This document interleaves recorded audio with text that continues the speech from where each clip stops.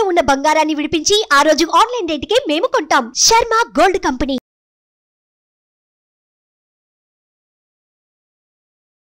నమస్తే welcome to Suman TV. నేను మీ యామ్ని. ప్రస్తుతం మనతో ఉన్నారు ప్రముఖ ఆధ్యాత్మికవేత్త జ్యోతిష రత్న శ్రీమతి కోనాల భాగ్యలక్ష్మి రెడ్డి గారు ఉన్నారు. అమ్మతో మాట్లాడి మనకున్న సందేహాల్ని తెలుసుకున్నాం అదేవిధంగా జూలై నెలలో పన్నెండు రాశుల వారికి ఏ విధంగా ఉంటుంది? దానికి సంబంధించిన పరిహారాలు కూడా మనం అడిగి తెలుసుకుందాం. నమస్తే అమ్మా. నమస్తే అమ్మా. అమ్మ ఇప్పుడు మనకి జూలై నెలలో అసలు కన్యా రాశి వారికి ఏ విధంగా ఉంటుంది? వీళ్ళకి సంబంధించిన పరిహారం అంటే అసలు ఏంటమ్మా? జూలై నెలలో కన్యా రాశి వారికి ముఖ్యంగా చూస్తే కేతు యథావిధిగా రాశిలోనే ఉన్నాడు. ద్వితీయంలో తృతీయం చతుర్థం పంచమం అని షష్టమం వరకు శని భగవానుడు వక్రగతి ఆ తర్వాత సప్తమంలో యథావిధిగా రాహువు అష్టమంలో కుజుడు. అంటే ఎప్పటి వరకుని? పన్నెండవ తారీఖున మారబోతున్నాడు. అప్పటి వరకు ఒక రకంగా ఉంటుంది తర్వాత ఒక రకంగా ఉంటుంది. అమ్మా నవమంలో చూస్తేనేమో గురుడు. నవమ గురుడు చాలా చక్కగా యోగవంతుడు వీళ్ళకి. యోగప్రదంగా ఉంటుంది డబ్బుకి దేనికి కూడా ఇబ్బందులు లేకుండా ఉంటాయి. దశమంలో చూస్తే రవి శుక్రులు. ఏకాదశంలో చూస్తే బుధుడు. ఇది పరిస్థితి. ఆలోచనలు బాగానే వస్తాయి. రవి గారు అన్ని పనులు మంచిగానే ముందుకు తీసుకెడతాడు రవి గారు కూడా దశమ నుంచి ఏకాదశికి రాబోతున్నాడు. అంటే రవి గారు ఎలాంటి పనులు చేస్తారమ్మా? రవి గారు ఎలాంటి పనులు అంటే గవర్నమెంట్ దగ్గర ఏమైనా బిల్స్ అవి స్టక్ అయి ఉంటే అవి రిలీజ్ చేయడానికి రవి కారకుడు అవుతాడు అదే గవర్నమెంట్ ఉద్యోగాలకు అప్లై చేసిన వాళ్ళకి కొంచెం సక్సెస్గా ముందుకు తీసుకువెళ్ళడానికి ఆశాజనకమైన వార్తలు వినిపిస్తాడు. అందువల్ల రవి యొక్క ప్రభావం లైఫ్లో చాలా ఉంటుంది. ఆరోగ్యాన్ని ఇస్తాడు. అన్ని మంచి పనులు చేస్తాడు.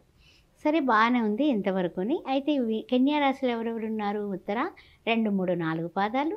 ఆ తర్వాత చూస్తేనేమో హస్త నక్షత్రం. ఆ తర్వాత చూస్తే చిత్తా నక్షత్రం ప్రథమ ద్వితీయ. సరే వీళ్ళందరికీ ఎలా ఉంటుందయ్యా అని ఆలోచించుకున్నట్లయితే తప్పనిసరిగా ఆధ్యాత్మిక చింతన దైవం పట్ల ఇష్టము అన్నీ కూడా కేతు ఉండడం వల్లే కాదు. కన్యా రాశి వారికి అన్ని విధాలా బాగానే ఉంటుంది. భగవంతుడి మీద ఒక మమకారం ఇష్టం అన్నీ ఉంటాయి.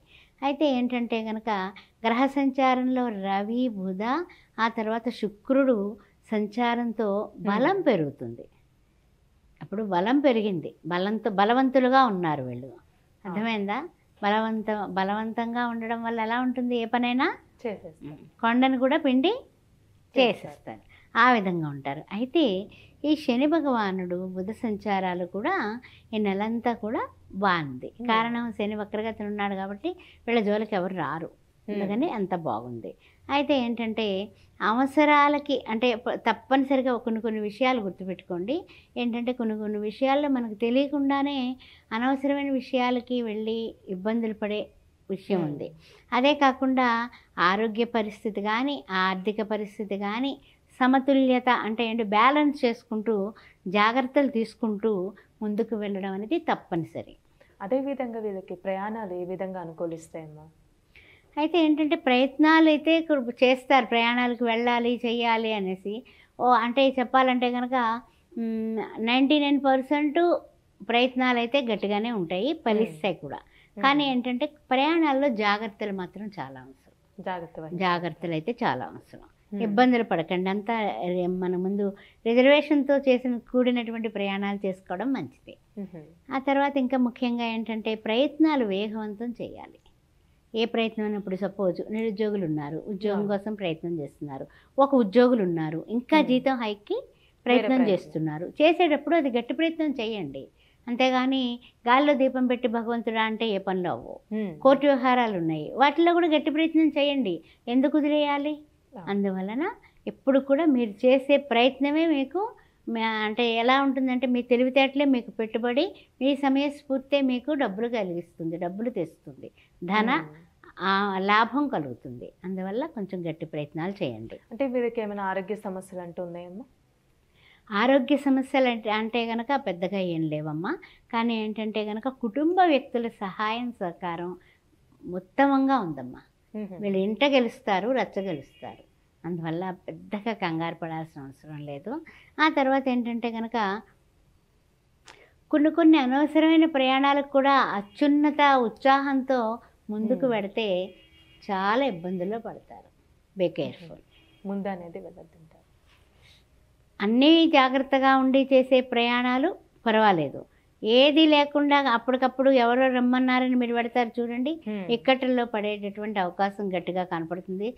ఉద్యోగస్తులైనా వ్యాపారస్తులైనా మీ జాగ్రత్తలో మీరు ఉండండి. అలానే వీళ్ళకి ఏమైనా శుభకార్యాలు జరిగే అవకాశం ఉందంటారా? జూలై నెలలో. జూలై నెలలో శుభకార్యాలు జరిగే అవకాశం లేదు కానీ ఒక శుభవార్త వినేటటువంటి అవకాశం కనపడుతుంది. అంటే వివాహానికి సంబంధించిన చేసే ప్రయత్నాల నుంచి ఒక మంచి వార్త అయితే వింటారు. అంతేగాని జూలై నెలలో కంప్లీట్ అంటే ఎలాగ ఆషాఢమే కాబట్టి. అంత లేదు. అందువల్ల శుభవార్త అయితే వింటారు. ఒక పాజిటివ్ వైబ్రేషన్ అయితే వస్తుంది.